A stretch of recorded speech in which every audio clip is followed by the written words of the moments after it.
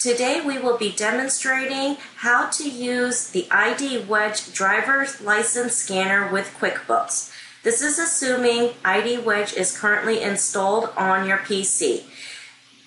If you right click on the bottom right hand corner in the system task tray, you can right click on it and restore it.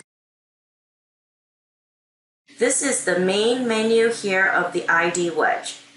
When the ID wedge is on the main form here, if I scan an ID, the data will fill in all the information on the screen here. The demo is a little slow because of the recording video at the same time and the computer is getting bogged down. When the program is minimized or sent into the background, then the info is sent to QuickBooks.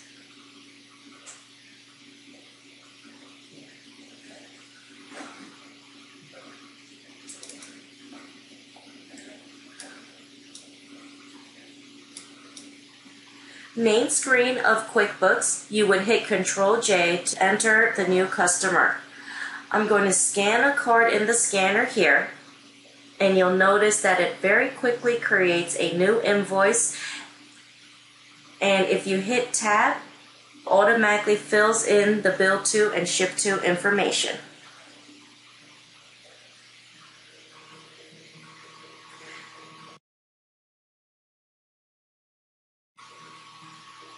Here again is the main form. If I hit Control J on the keyboard, we get to the new customer.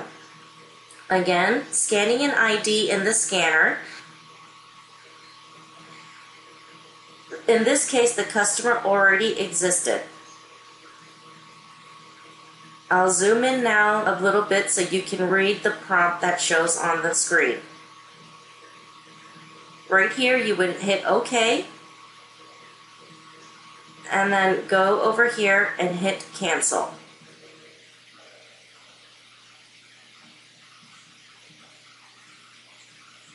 Here's a brief explanation of what ID Wedge is doing.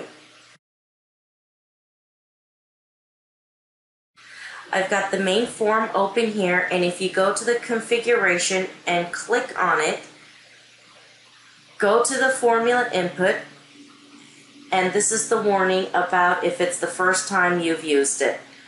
Click OK. This is the formula that's actually doing all the work here. So I'll briefly explain what's going on. This formula is what we use to enter data into QuickBooks and control QuickBooks itself. So if you go to the very beginning of this formula here, you'll see a percent %n which actually Alt N. So in QuickBooks, Alt N gets you to a new customer form, and then N creates a new customer.